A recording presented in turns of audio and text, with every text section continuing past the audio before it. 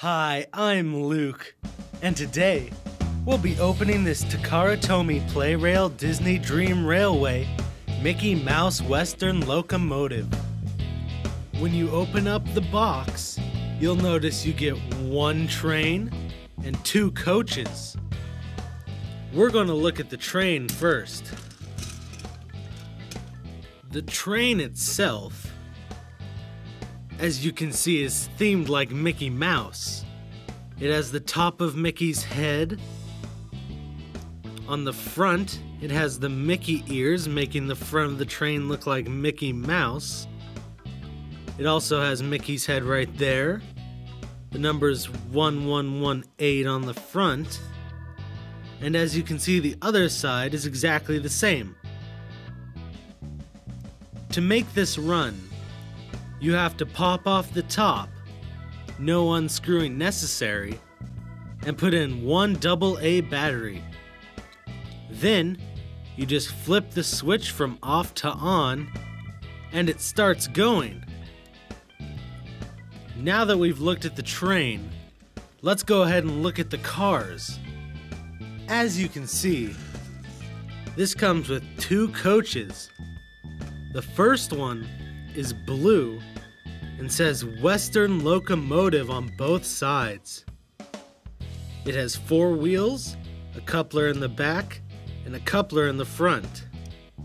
Also, the top comes off so you can put people or even little cars inside. If we take a look at the yellow one, we'll notice it's exactly the same, only yellow. It says Western Locomotive on both sides, has four wheels, coupler on the front and back, and its top comes off also.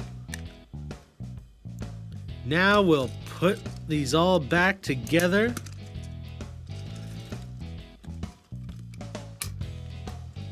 and have it run around on the track.